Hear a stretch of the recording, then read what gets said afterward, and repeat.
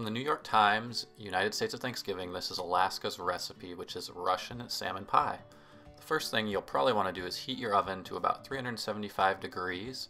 Start melting some butter in a skillet because you're going to use a red onion.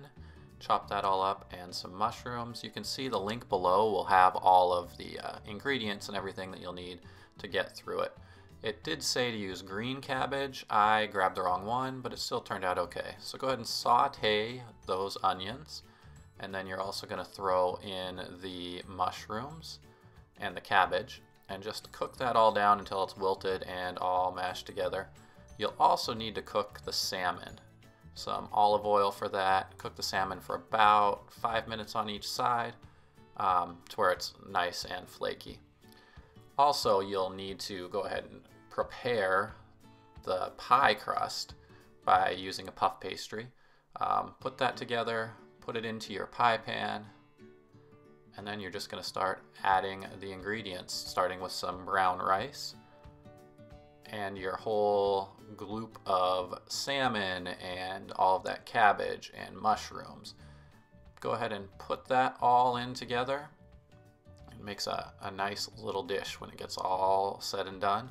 Um, put the top on over top. It's, it's going to be full. This is a very hearty dish.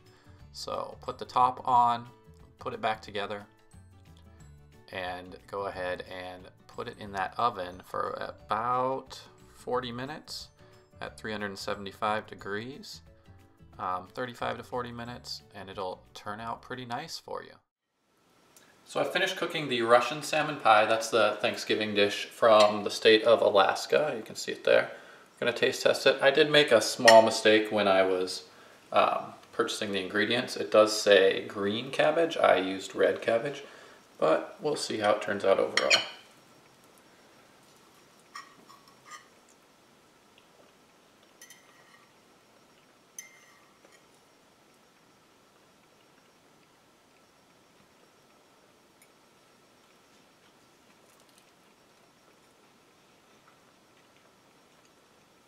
It's really very full, like it's a, it's a heavy, hearty sort of thing.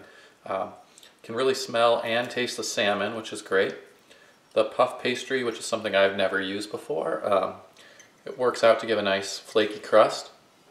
I probably could have done a better job of putting that out, but overall this is definitely something that, that I would eat on Thanksgiving.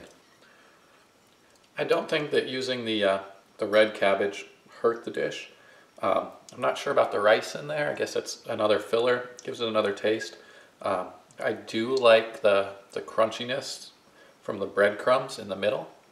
And I probably could have used a little bit more cheese in there just to, uh, just to give it a little bit more uh, gooiness. It's not really sticking together very well. It's kind of falling apart all over the place. But it does taste good. I like it, and I would suggest uh, making this one for your table.